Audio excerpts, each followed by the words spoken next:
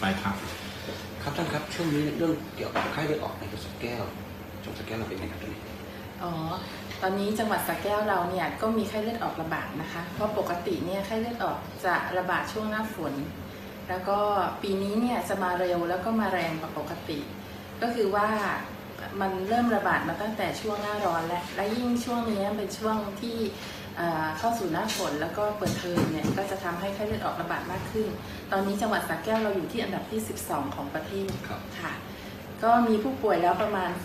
459 ราย เสียชีวิตแล้ว 1 รายครับค่ะ ในส่วนนี้อยากจะฝาก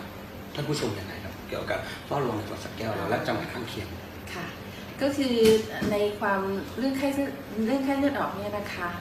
ก็ที่เราจะต้องเฝ้าระวังก็คือเรื่องของอาการถ้า หากเด็กมีไข้สูงลอย แล้วก็มีหน้าแดง แล้วก็ไม่ค่อยทานอาหารซึมอย่างเงี้ยค่ะ ก็ให้ระวังไว้ว่าอาจจะเป็นไข้เลือดออกได้ ช่วงนี้เนี่ยถ้าวันสองวันแรกเนี่ยคุณพ่อคุณแม่จะให้รับประทานยาพาราเซตามอลลดไข้แล้วก็เช็ดตัวเนี่ยก็ไม่มีปัญหาอะไร แต่ถ้าเกินสองวันแล้วไข้มันยังไม่ลงเนี่ยควรจะพามาพบแพทย์และที่สำคัญอย่างยิ่งเลยคือห้ามรับประทานยาแก้ไข้พวกแอสไพรินหรือพวกเอนเซดนะคะ อันนี้คือ ประเด็นที่สำคัญมากเลยค่ะ ครับ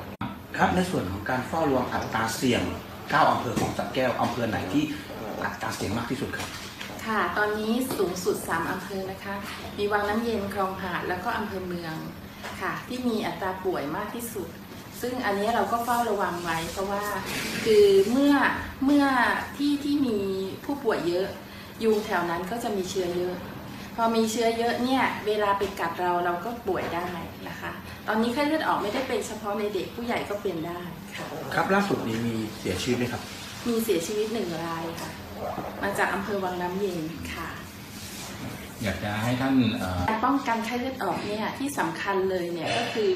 ในเมื่อมันติดจากยุง เพราะฉะนั้นเนี่ยก็อย่าให้ยุงกัดนะคะ ประเด็นการที่ยุงกัดเนี่ยถ้ายุงกัดคนที่เป็นที่ป่วยเป็นไข้เลือดออกเนี่ย จะทำให้ยุงเนี่ยมีเชื้อ พอยุงมีเชื้อเนี่ยพอมากัดเราเราก็จะป่วย เพราะฉะนั้นเนี่ยเวลาเราเราเป็นคนปกติเราก็ไม่ควรให้ยุงกัด เวลาเราเป็นคนป่วย เราก็ไม่ควรให้ยุงกัด เพราะฉะนั้นเนี่ยควรทายากันยุง ควรนอนกลางมุ้งและที่สำคัญอย่างยิ่งเลยที่กระทรวงสาธารณสุขพยายามเน้นก็คือกำจัดพาหะในการนำโรคนะคะ ไม่ว่าจะเป็นสารเก็บป้องกันสามโรค หรือว่าจะเป็นเรื่องของการ ทำลายแหล่งเพาะพันยุงทั้งหลายนะคะ อันนี้ก็คือสิ่งที่สำคัญมาก ๆ ค่ะ